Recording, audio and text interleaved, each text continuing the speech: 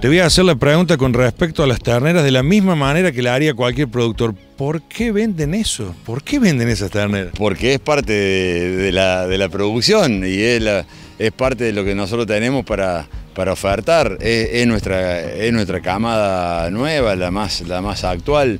Eh, ahí hay, por ejemplo, no sé, están las primeras hijas de 12 Pasos, que es un toro relativamente nuevo, que, salió al mercado el año pasado recién con el semen, y nosotros lo habíamos usado antes en servicio en monta natural, y bueno, esas son las las primeras hijas que se ponen a venta, por ejemplo. Nosotros, digamos, desde que arrancó la, ronda, digamos, siempre van algunos bien preñados ya, pero siempre una puntita de ternera también ponemos porque es la forma de, mostrar un poquito lo, nuevo, lo, que está recién salido. Bien, bueno, eh, eh, también te preguntamos a algunos de los padres como para que la gente que quiere venir a llevarse las terneras con todo ese futuro, algo de la genética que van a tener Bueno, como te comentaba hoy, uno de los padres nuevos, 12 pasos, que es padre de algunas de las terneras, hay algunas eh, terneras hijas eh, de Jax, que es un toro ya eh, bien, bien destacado de padre de la sultana, que tiene origen en Pozo de la Carreta, sea, hijo de, la Jackie, de una de las vacas más productoras que tenemos en nuestro programa. también hay alguna, hay un par de, hijas de, un toro que viene de Guasuncho, que nosotros lo usamos de padre, que le apodamos Guasón, eh, que viene con, es colorado y viene con sangre de cachamaya atrás.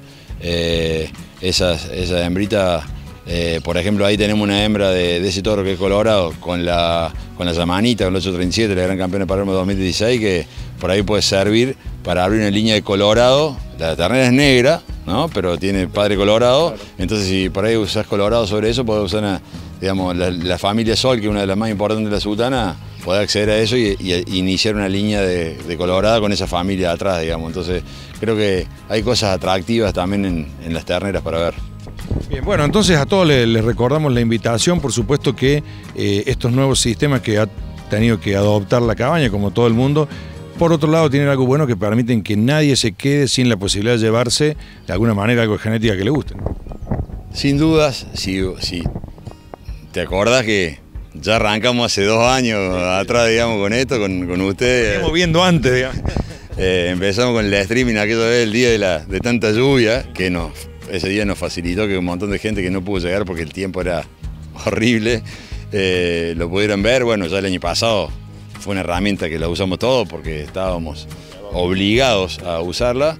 Y bueno, para mí, estoy convencido ya desde, desde el año pasado cuando adoptamos esto que era una herramienta que venía para quedarse y a nosotros sin, no tengo, pero la menor duda que si para algo nos sirvió la herramienta, es como dijiste vos recién, para que todo el cliente que se quería arrimar a la sultana de alguna forma, y bueno, primero que lo pudo ver, porque le, llegás al rincón más lejos de la República Argentina y también de, de, Latinoamérica hoy con esta, con esta herramienta de llegada, entonces lo podés ver y si querés eh, hacer algo, lo, podés hacer, digamos. Entonces eh, a nosotros eso nos, es como que te abre el mercado.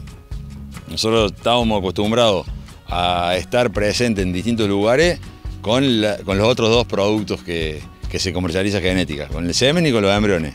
Hoy podemos también, digamos, esto nos, aumentó la cantidad de clientes eh, de animales en pie, digamos, ¿no? O sea, porque hay un montón de gente que puede acceder y a lo mejor hasta hay gente que no se termina, que eso hemos, hemos hecho negocio afuera y la donante quedó acá y este, este, cliente hoy produce embriones y se lleva los embriones y nosotros le, hacemos el trabajo acá de, los embriones. Entonces es como que se abrieron un montón de alternativas que antes eran no, no eran imposibles porque ya las veníamos haciendo, pero eran, era mucho de menor cantidad, digamos. Ahora es como que está eh, mucho más disponible para todos.